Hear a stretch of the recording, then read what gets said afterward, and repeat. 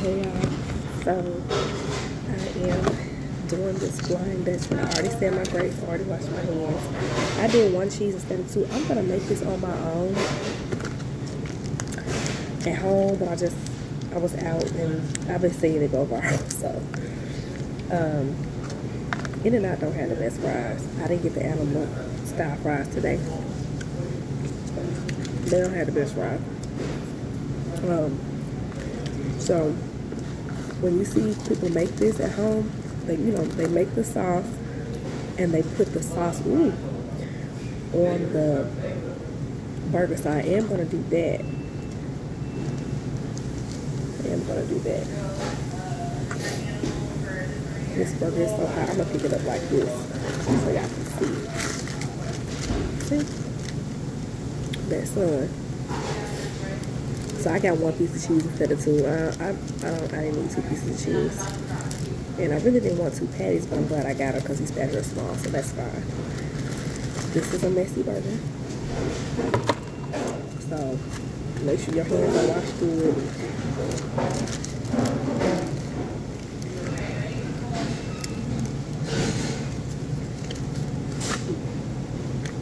Because you want me to use your hand.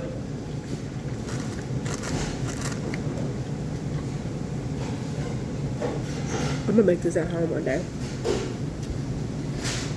It's good. It's like um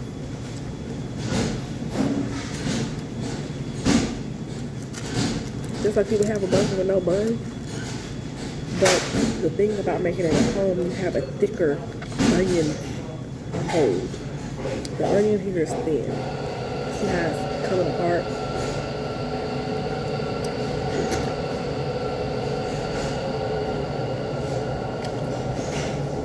This good. It's seasoned. But basically, this is a burger with no bun. Extra onions. And it's not holding together. You know? When you do it at home, you can have a thicker, a thicker onion. Uh,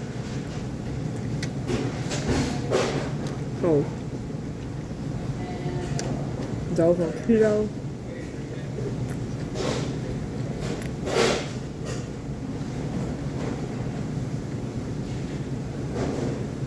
Or just doing a low carb. This is an excellent choice for you. They also have a burger with lettuce as the bun. So I think I think I will like that one better. I think next time I will say Flying Dutch add lettuce. um, these fries ain't.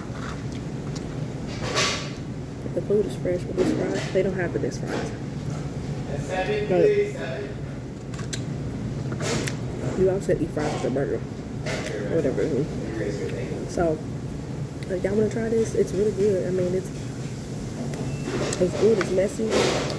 It's pretty much a burger no fun like people, this ain't nothing new. Folks getting burgers without buns for a while, you know, but with foodies make things popular. You kind of gotta, as a foodie, gotta go see what the hype was all about.